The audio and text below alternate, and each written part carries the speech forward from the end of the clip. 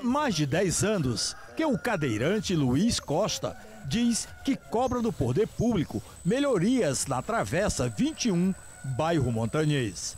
Ele tem uma cadeira de rodas motorizada e entrar e sair do local é um desafio.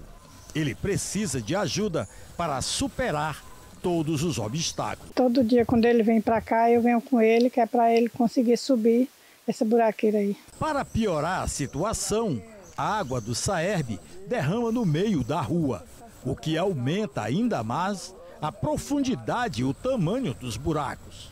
Dona Francisca sentiu dores nas costas. Eu tive que dar uma focinha para empurrar a cadeira de rodas ladeira acima.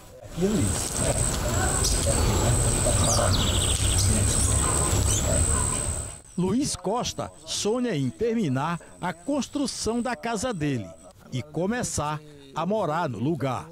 Mas até para construir está difícil.